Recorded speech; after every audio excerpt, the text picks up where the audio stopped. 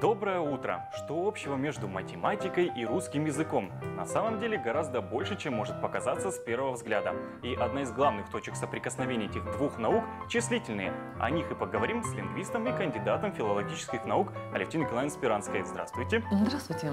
Сегодня мы поговорим об очень сложной теме. Потому что есть в нашей речи такой аристократ склонения. Этот аристократ называется числительное.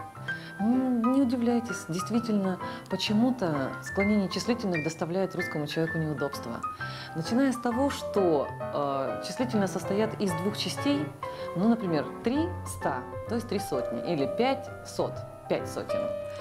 А При склонении нужно не забывать, что обе эти части склоняются. Давайте быстренько пробежимся по падежам.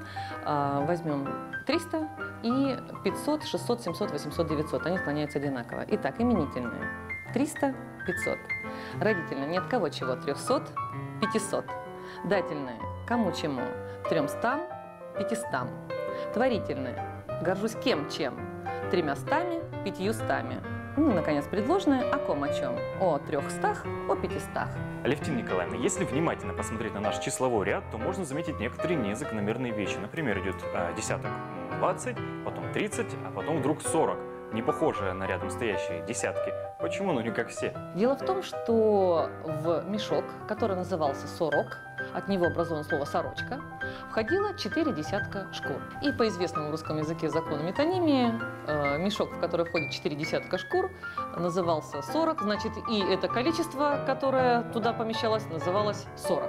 С этим все просто. А вот у нас есть слово високосное. Оно никакого отношения не имеет ни к виску, ни к кости. А к чему же тогда оно имеет отношение? Мы знаем, что раз в 4 года набегает лишний день, этот день нужно куда-то было вставлять. Но у нас сейчас это 29 февраля. А греки вставляли его не в конец 28 а между 24 и 23 февраля. У них проживался день 23 февраля два раза. И этот день назывался дважды шестой, то есть би, ви, двойной, секс шестой, дважды шестой, получился би, ну там високосный в русском произношении. Вот так в слове високосный спрятано тоже число, конечно, не русское. А в другом случае э, спрятано русское число, и это слово «стреножить». Я думаю, вы все знаете значение этого слова. Это значит э, помешать ходить, кого-то связать. Причем связать ноги. Оказывается, когда коня стреножили, то ему захлестывали три ноги. Две передних, одну заднюю. Получалось треножить, то есть три ноги связать. Поэтому в глаголе стреножить тоже живет числительное. Алевтина Николаевна, вот живем в 21 веке, а как склонять наши 2000-е годы, путаемся. Давайте разберемся. Вы видите, какая разница у числительного «два»?